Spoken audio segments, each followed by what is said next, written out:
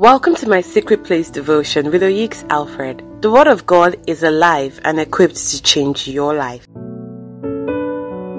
Morning. The Bible in Malachi 3 2 talks about something called the refiner's fire. The job of that refiner's fire is to refine and purge and remove everything in the life of a man that offends God. Anything in the life of a man that has not been put there by God. Let's ask for that refiner's fire today. Lord, I thank you for a new week, Lord. I ask that your refiner's fire will go through your people, Lord, removing and burning off everything that is chaff in their lives removing and burning everything that has not been planted by you, Lord, in the name of Jesus, that they will step forth into this week as brand new men and women in Jesus' name. Amen.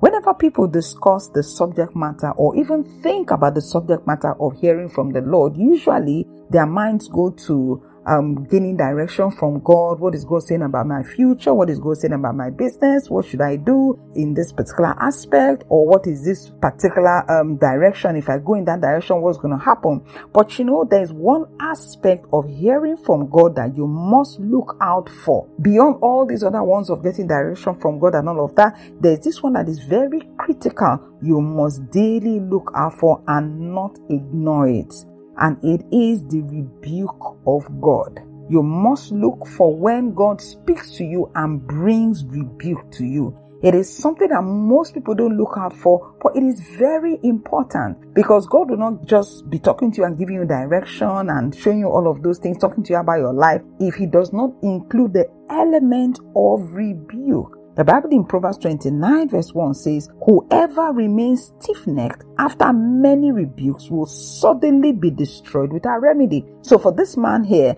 it means that God has rebuked him over and over, but he refused to shift, he refused to move, he refused, you know, to move away from what God has told him to do. And the Bible says that because of that, destruction comes without remedy. So God will bring rebuke, and that rebuke, He expects that you pay heed to the rebuke He's giving you, not to feel condemned, but to pay heed, and so that you can, you know, change whatever it is that you are doing. The Bible says that if you constantly refuse the rebuke of the Lord, then what will happen is that you will face destruction. Every wise man look for that rebuke element in the speakings of God. When you look through your heart, when you go through the day, look for that stop back thing that God is doing in your heart, where God is saying, This thing you did is not proper, this thing you did, you shouldn't have done it, and all of that. It is to preserve you. Now, David writing in Psalm 6, verse 1, he said, Oh Lord, don't rebuke me in your anger or discipline me in your rage. So simply what he was saying is, Lord, I want you to rebuke me.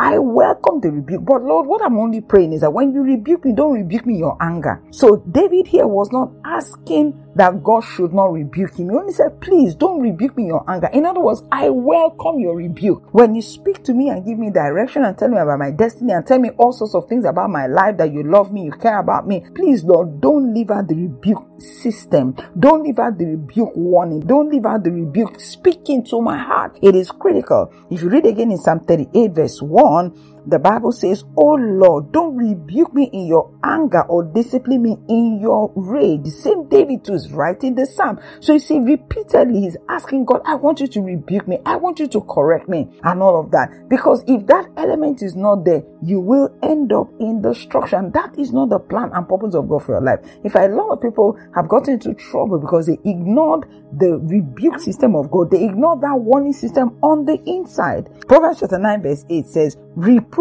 not a scorner, lest he hate thee. Rebuke a wise man, and he will love thee. So the Bible is saying that when you are a scorner, that's when you're somebody who, you know, um, laughs off or blows off or take lightly rebuke and all of that. The Bible says that that man, when you rebuke that man, he will hate you. But a wise man, when he's rebuked, he will be happy. When he's rebuked, he will love God. He will love whoever it is that God is using to bring that rebuke. However, most people don't like rebuke. Most people don't like to be corrected. Most people don't like to be told that what they are doing is wrong. They just want to hear all the good, good things. They never want to hear anything that is not proper. When I mean is not proper, anything that they feel is not proper proper, meaning something that you're telling them, oh, this is not good, this is not right. But the Bible in Proverbs chapter 12, verse 5 gives us a different perspective to rebuke. He says, Have you forgotten the encouraging words God spoke to you as His children? He said, My child, don't make light of the Lord's discipline and don't give up when He corrects you. Meaning that as God is speaking to you, one of the things He's going to do is to bring discipline. One of the things He's going to do is to bring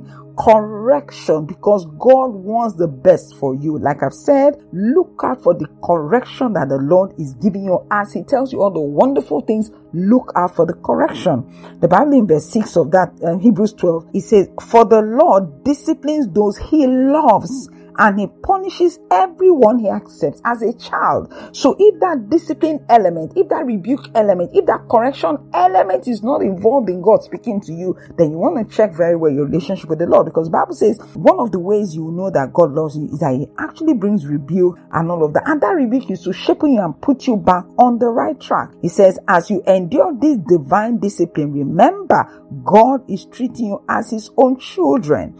So if God accepts you as a child, then what it means, he is going to correct you, he's going to discipline you. The Bible in verse 11 of that place we're reading in Hebrews chapter 12, it says, No discipline is enjoyable while it is happening. It is painful, but afterwards there will be a peaceful harvest of right living for those who have been trained that way. So if you have been trained in the way of rebuke, correction, discipline of the Lord. It brings right living. It causes you to live holy. It causes you to live pure. And the Bible says, if you have been trained in that way, you would have a bountiful harvest. Jeremiah also was talking to God and he says, so correct me, Lord. This is Jeremiah chapter 10 verse 24. He says, so correct me, Lord. He was actually looking for the correction of God. He says, So correct me, Lord, but please be gentle. Don't correct me in anger, for I will die. So a wise man looks for that correction element in his spirit, not just looking for all the big things God will say, all the wonderful things God is going to say to you,